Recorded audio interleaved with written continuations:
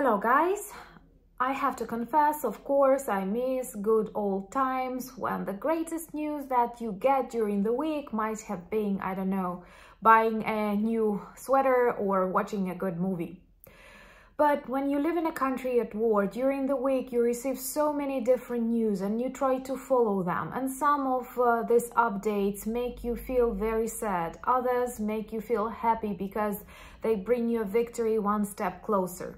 But what I have definitely learned during this more than two years of full-scale war and more than 10 years of Russian war in Ukraine in general, that everything is very dynamic and everything can change in a second. But at the same time, it is unbelievable how many things happen for a Ukrainian in a week. That's why I've decided to summarize these most important events from the perspective of an ordinary Ukrainian and share them with you today. Let me know if you like this format. And if you're new to the channel, remember to subscribe. My name is Anna and I vlog daily from Ukraine since the start of the brutal Russian invasion. So if you join the community of the channel, you will definitely help us fight against Russian propaganda, fake news, and I'm sure together we will witness Ukrainian victory.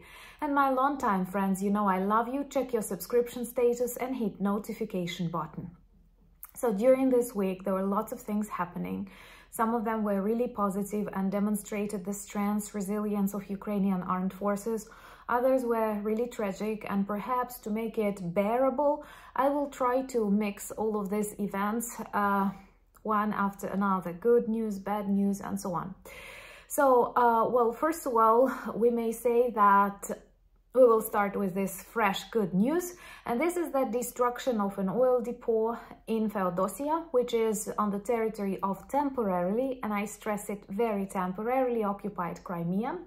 This oil depot was destroyed and what is most important it's not just an ordinary oil depot it's the one that was used purely for military needs. Unfortunately, Crimea was turned into a military base, which is really bad for the ecology, and uh, I'm sure when it returns back to Ukraine, you will be able to travel, to explore the sea, the mountains. It's the only zone in Ukraine that has subtropical climate. And of course, it should not be a military base.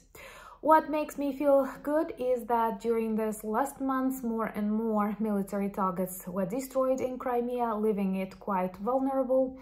I am sure soon we will see a Crimean bridge on fire and even generals in Germany were talking about that unfortunately caught by Russian spies. This is, by the way, a very alarming and negative signal because we are talking about a NATO country and this demonstrates the vulnerability of uh, their systems of communication. We all know that now Germany is talking a lot about the dangers of sending long-range missiles to Ukraine, which of course as a Ukrainian I consider wrong. It's just uh, a kind of narrative that was brought uh, in media, not even by Russia, but by many countries when they were saying, oh, we cannot give you this or that because it will look as if we target Russia by ourselves. Actually, it is these countries who introduced this idea and later Russian fake diplomacy decided to use it. Before that, Russians did not think that way actually we have given them this idea, which is very wrong. Because once again, if I win a marathon wearing, I don't know, American sneakers, this does not mean the victory is American. The victory is uh, of the athlete. So if Ukrainians target Russia with uh, missiles from France, these are Ukrainians. And most importantly, just look at how we destroy targets deep inside Russia, inside uh, Russian RIA, in St. Petersburg, in Moscow, in Chelyabinsk, in Ufa, and nothing happens. And Crimea is constantly on fire. They warn that if only something happens, nuclear strike is immediate, but nothing is happening. Why? Because Russia is a bully and it uses this just to blackmail the world. So I hope people will get through that. And um, of course, we have to be secure and we have to realize there are millions of Russian or pro-Russian spies around us and united we stand because they will continue shaking not just Ukrainian territories but also the democratic structures all around Europe and Northern America and elsewhere in the world. Uh, on this uh, background, on this note, it was really nice to hear the idea of the President Macron to send uh, mm, real NATO, European, EU troops to Ukraine. I mean, like real soldiers, which is a breakthrough and perhaps it is the first uh, mentioning of such idea from the EU leader. Of course, that would be great, but as a Ukrainian, I have to confess, I doubt it is very likely. Remember to subscribe to demonstrate your solidarity with Ukraine and to help us fight against the evil Russian Empire because it is a danger for the whole world. And maybe, maybe it, it will be real, just I want to be mistaken. And I, honestly, as a Ukrainian, I would like to see NATO or EU uh, troops on Ukrainian lands. But you see, the reaction was huge and like everyone was saying, no, no, no, this is not going to happen. Anyway, what is good that Ukrainian pilots continue training on F-16 aircraft and now they uh, perhaps finalize their training because they are extremely motivated and this course it has to be uh, condensed because we don't have time during war and we are losing lots of people when we cannot destroy Russian bombers. And uh, well we can as you see. But in general uh, the pilots are now targeting uh, real uh, real targets on uh, the ground which is perhaps the final stage of training. And I'm very grateful to F-16 coalition to the Netherlands to Denmark to the US to all the beautiful countries that train our pilots. And hopefully sometime soon we will see F-16s in Ukrainian skies destroying Russian aircraft. But we are destroying Russian aircraft like crazy and this is a huge breakthrough of uh, February, I'd say. We've destroyed like 14 of them in a row and one A-50 jet. Um, yesterday we have destroyed another Su and I did not record any messages about that because I felt you might be tired. But I, as a Ukrainian, can never be tired learning more about the destruction of the Sus. Also, uh, it was really sad to watch the funeral of Navalny. And it was sad not just because it's a funeral and a person was killed, but also the number of people who appeared on the streets was really low, taking into account it's a huge Russia, it's Moscow, and they have this dictatorship for decades and new elections are approaching. But I don't see any real opposition inside Russia. I don't see real movements. I know many of you will comment and say it's very dangerous to protest in Russia, but it's very dangerous to continue living like that in Russia too, because I believe that this execution of Navalny will continue in waves of terror similar to the ones organized by Stalin. Putin is preparing to mm, turn this authoritarian regime into a purely totalitarian, if we follow this political correct uh, terms. But it was really sad to look at it and uh, from what I understand now even the surname of Navalny is uh, forbidden just like as an extremist slogan or something. Can you imagine the level of craziness of Russia? And it's another reminder to those who think it's possible to negotiate with such a regime. Go and negotiate with North Korea. What will you negotiate with them, guys? So, uh, also uh, apart uh, from this uh, news from Russia, there were really tragic news from Odesa after a very severe attack and Shahed drone targeting into an apartment building.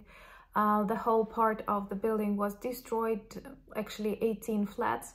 And uh, what is beyond tragic that many uh, newborn children died, like uh, small, very babies and three-year-olds with the mother.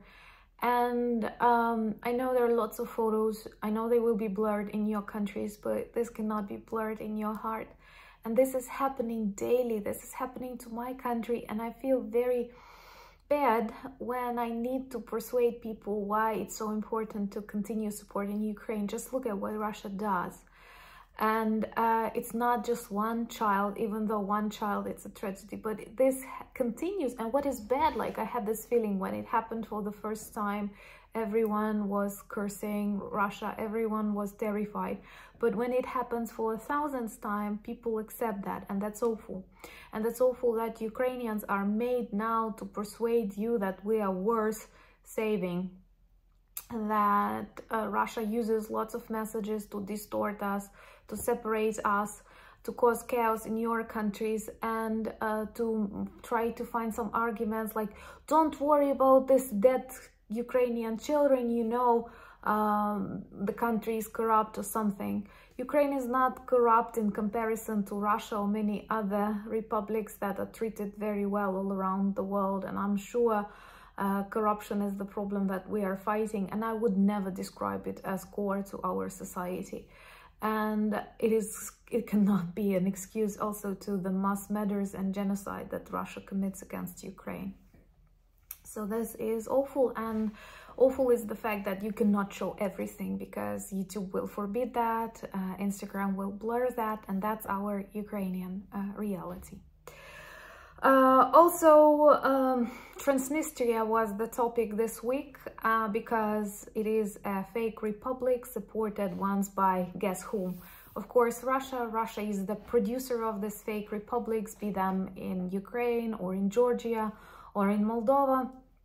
And the so-called deputies of that Transnistria Republic, which by the way borders uh, Ukraine too, uh, asked Kremlin to protect them against what? Like aliens? I don't know because moldova government does not seem very aggressive or dangerous at all anyway uh, transnistria is really close to odesa less than 20 kilometers so we are concerned uh, and this is another very vivid illustration why any negotiations or frozen conflicts with russia are bad and to finish on a like i don't know positive or it's a little bit uh, dark, dark positive side according to uh, the Institute of War.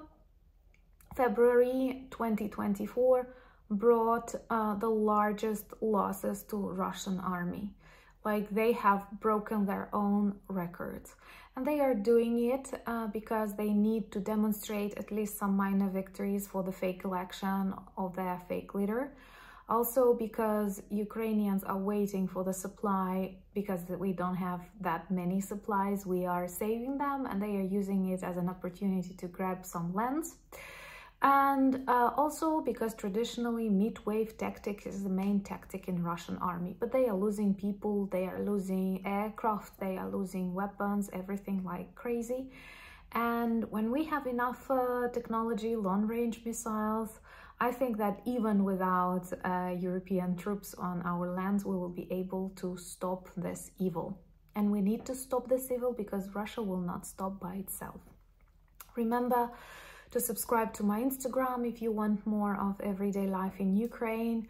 The link is in the description of this video. Also, I am present on Twitter, Discord, and uh, Threads I never invite you to uh, Telegram or WhatsApp for a chat. These are scammers, so please be uh, careful.